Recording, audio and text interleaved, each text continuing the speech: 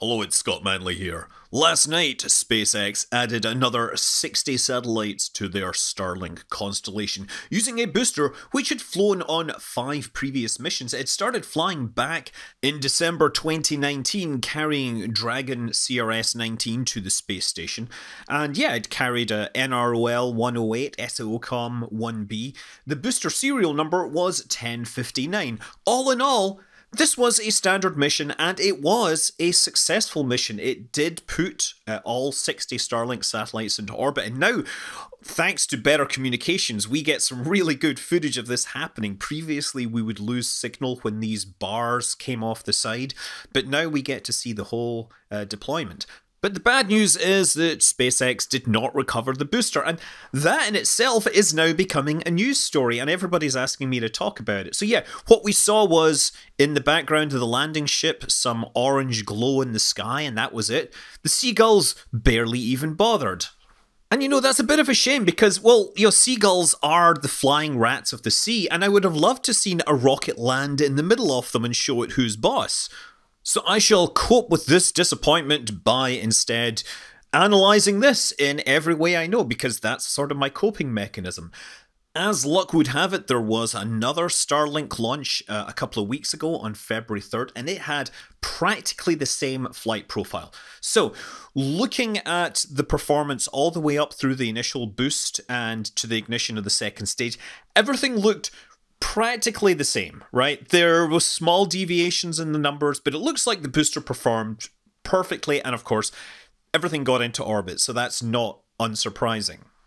So, 6 minutes 20 seconds into the flight, the, we're getting ready for the entry burn. That is where the booster lights up three of its engines to slow itself down and make sure it doesn't hit the atmosphere too hard. This is done on all the the booster recoveries.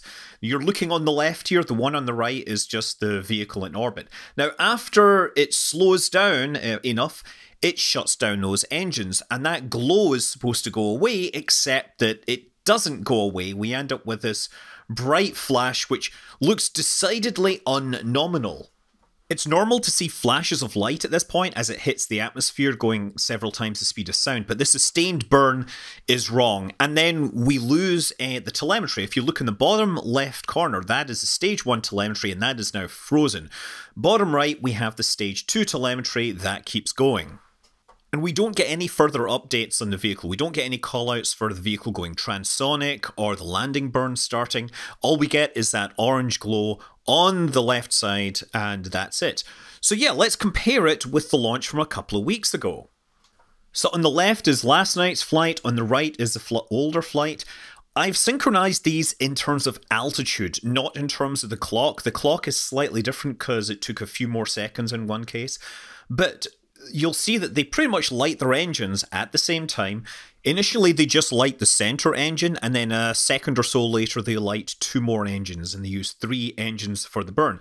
So, we are going to use those telemetry numbers in the bottom left of the screen to analyze this. We are going to use them to make graphs because while all that fire and flames looks pretty hot and sexy, they don't tell you the story. So here you are, a graph of acceleration versus time. Those are one second ticks along the bottom. The blue line is last night's booster, the red line is the known good booster, and you can see it ticks along and it rises up quickly. There's a little bump there, that's between the lag between lighting the first engine and lighting the other two engines. They both reach uh, a peak of about 40 meters per second, but then the blue line drops off down to just above 30 meters per second uh, per second acceleration acceleration. So that's about a 25% loss of thrust. And 25% isn't the number I would have expected because if you have three engines and one of them fails, you expect a 33% change. Maybe the center engine is under throttled for this burn. I, I don't know, I don't think so. But it looks to me as if we definitely had a major engine failure, but it continued to operate and provide thrust at a significantly lower level for about five or six seconds before they all shut down. And that means that by the time the entry burn ends, there's a difference of about 150 kilometers per hour, which isn't a huge amount, I'm going to say, given that they're moving at about 5,800 kilometers per hour. But last night's flight is headed into the atmosphere steeper and faster, and you can see it getting ahead here. And actually, if you look at the, the far right of that graph, you'll notice that the blue line goes up faster because it's going deeper into the atmosphere and experiencing more drag. So that is you know getting slowed down by the atmosphere more compared to the uh, the old one, which is having a much more chill time. And so the next event is that we lose the telemetry, it becomes frozen. I'm just going to fast forward through this section because we want to get to where we see the cameras on the ships and we see the landing burns. So, um, the vehicle comes down, it's decelerating under drag, it goes subsonic, and then at this point it's aiming towards the ship. Now, on the left, as soon as we switch over, we see this pulsing orangish glow, whereas we see nothing on the right until a few seconds later, and that's the actual light. Now, notice the difference in the color here. The one on the right has known good engines, so it has a bright, efficient flame. The one on the left um, obviously had some sort of malfunction. But also to realize uh, is that these two things finished their entry burn at the same time, and yet we saw fire on the left way before we saw the entry burn, or sorry, the landing burn start on the right. And if we look at this screenshot from the moment that we lost the telemetry, you'll notice that the one on the right, the good one, has actually is actually going faster now because it was higher up and had less drag. So it is actually catching up. Therefore, while the one with the damaged engine should have uh, did initially get ahead, the other one should have been catching up, and they shouldn't been so far apart with the uh, fire, right? The ignition. The other thing is that there are low clouds over the Atlantic during both of these landings. You can actually see the uh, clouds get illuminated, and then when the vehicle comes below the clouds, they get illuminated from below, and it's very obvious. So I'm thinking that the one on the left may not actually have been an ignition, it may have simply been burning on its way down.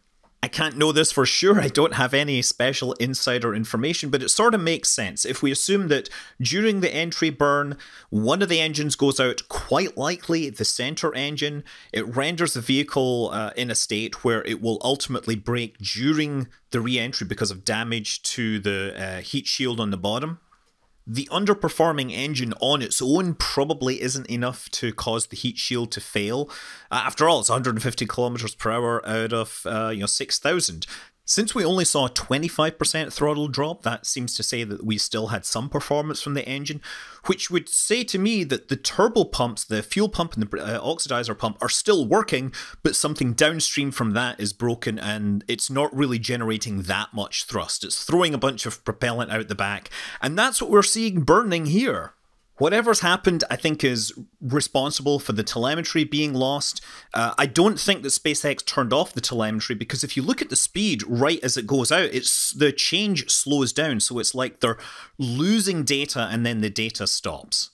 And so at that point, I don't think that SpaceX Mission Control have access to the vehicle, which is why we're not hearing any of the callouts. Likely at this point, they suspect that uh, there's been some damage and it's not going to be able to land. The booster may well just continue on a ballistic trajectory rather than using its aerodynamics, and yeah, it just may be burning as it heads down below the clouds, and that's what we see. Another bit of evidence to suggest that it might be burning and spinning is just the fact that you see that thing pulsing as it comes down, which could be uh, evidence for the vehicle rotating and burning. I highly doubt that is all correct. That's just one set of things that fits the parameters. Uh, it might not be the center engine. It could be one of the other engines, and then you've still got fuel burning up inside the bottom of the en- the rocket that causes something to fail. Uh, it could be an aerodynamic failure. It could actually be trying to light the engine and just burning in an awful, phenomenal way and piling into the ocean.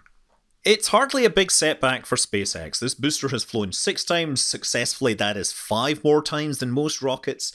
SpaceX are probably already compiling a report for NASA, who will, of course, be interested since they put people on these rockets. And any, any failure, even if it's a failure after it's done its primary mission, they are going to be interested to make sure it won't affect an actual ascent. SpaceX is out here pushing the reusability further than they have in the past, and they're aiming to get 10 launches out of these rockets. And, well, you know, they're working upwards towards that, but uh, even if they can only get half that, they're still going to be way better than other rocket companies. We also got an Elon tweet confirming that the active fairing half was recovered, and I think what they mean by active is that's the one with the pneumatic latch release mechanism. So if you look on the fairing that the uh, camera is mounted on, there's a line of uh, you know, pressure lines around the outside, and that's what's used to release all the latches that hold the two fairings half. And if you look at the other half as I reset the video, you'll see it doesn't have this line uh, along the fairing interface. So I think that's what they're talking about there. And you know, I had to mention this because it gave me another reason to play this awesome piece of footage once more. I'm Scott Manley, fly safe.